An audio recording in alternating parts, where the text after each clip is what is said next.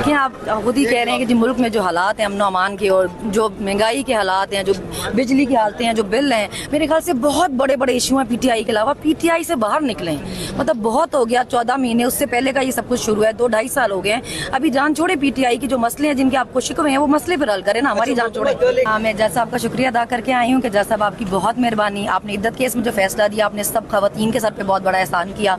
उन्होंने कहा कि जी मैंने जो किया है वो मैंने इंसाफ किया। मैंने कहा जी इंसाफ करना भी आजकल मुश्किल है। आपकी मेहरबानी कि आपने हिम्मत करके इंसाफ किया। आपका बहुत शुक्रिया। रऊफ हसन को भी पेश किया जा रहा है। इस पे क्या कहेंगे बस बिज़ी है वो। एक को छोड़ते हैं एक को पकड़ते हैं एक को छोड़ते हैं एक को पकड़ते इसी काम को लगे हैं। आ, ये मनादर हैं इस टाइम डिस्ट्रिक्ट कोर्ट के। आ, जैसा कि सनम जवेद ने कहा कि उन्होंने जज अफसल मजोका का आ, शुक्रिया अदा किया कि उन्होंने जो इद्दत केस पे फैसला सुनाया तो जज साहब ने कहा कि मैंने इंसाफ पे फैसला सुनाया और अभी यहाँ रऊफ हसन साहब को भी पेश किया जाएगा।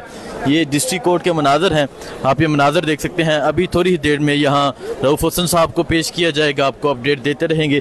सनम अभी यहाँ पहुँची थी यहाँ जज अफसल मजोका की अदालत में और अब सनम यहाँ से निकल रही हैं।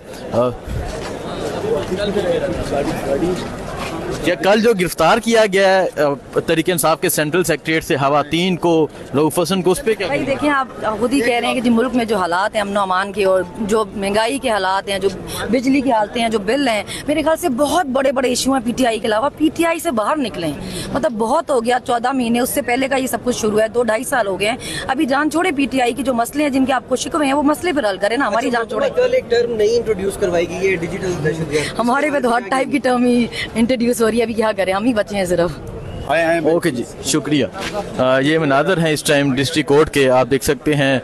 अभी थोड़ी ही देर में रोफ को भी पेश किया जाएगा। फैसले मर्ज़ी से नहीं आ रहे हो तो कोई भी तनकीद कर रहा है भाई अब तो जजेस पे। जिनको नहीं करना चाहिए था उनको वो भी कर रहे हैं जजेस पे तनकीद अब तो। फिर कहते हैं हर मामला सियासी कर दिया। तो जब हर मामले में घुस जाएँगे और सियासी बात करेंगे तो फिर हर इशू ही सियासी ही होगा फिर और क्या होगा? अच्छा बाकी खबर भी रिहा हुई है लेकिन आपको कुछ ज़्यादा ही पीटीआई वाले प्रोटोकॉल हैं जी मैं चाहती थी कि जब मुझे कभी मौका मिले तो मैं मरियम नवाज़ का खास शुक्रिया अदा करूँ कि जो कोई भी उनका एडवाइज़र है मेरी तरफ़ से बहुत शुक्रिया आपका जो मशवरे देने वाले थे बार बार मेरी गिरफ्तारियाँ करने वाले थे। आपके चक्कर में जो है ना मैं लीडर ही हूँ अभी तो बड़ी मेहरबानी। ये जो एडवाइज़र है इसको पक्का रखें ज़रा अपने पास। जो खान साहब को बेहतर लगेगा। तो क्या आप दिफा करेंगी? सॉरी टफ टाइम देंगे मरीम नवाज़ को टफ टाइम देने के चक्कर में चौदह महीने से जेल में हूँ मैं। आगे भी वही करेंगे ज़ाहिर बात है। अभी इमरान दियाज बाकी आपको क्या लगता है मैंने किताब में आग लगाई थी? मरीम नवाज़ को। सॉरी आप आप तैयार हैं सनम जावेद आ रही है। मैं तो मुझे लगता है उनके हवासों पर सवार हो गई हूँ। जिस तरह वो अपने एक एक बंदे से प्रेस कॉन्फ्रेंस करा रही हैं और खुद भी कर रही हैं मतलब चले, पहले आप इस तरह की हरकतें करती हूँ, अभी आपको जिस तरह भी मिली आप सीएम है मतलब थोड़ा तो उसकी इज़्ज़त रखें, अपने उहदे की, अपनी कुर्सी की।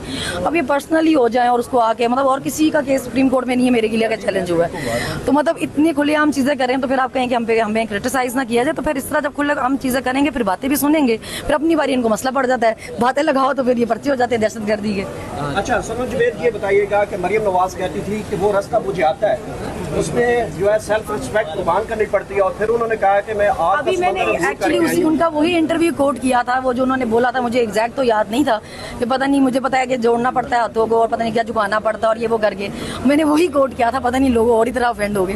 बहरहाल उन्होंने ये रस्ते खुद बताए हमें कि मुझे आते हैं हमें तो हमने तो कभी क्लेम किया ही नहीं ना। हम तो कभी हमने कभी कहा ही नहीं हम माफिया लेके निकले हैं। हमें तो अभी भी इतने मुकदमों में होने के बाद भी यहाँ से कोर्ट से बाहर नहीं निकल रही भाई कि पहले गाड़ी है तो फिर बैठ के जा सकें कोई पता नहीं बाहर पकड़ने वाले बैठे हो। तो हम माफिया मांग के निकले नहीं है तो हमें पता भी नहीं।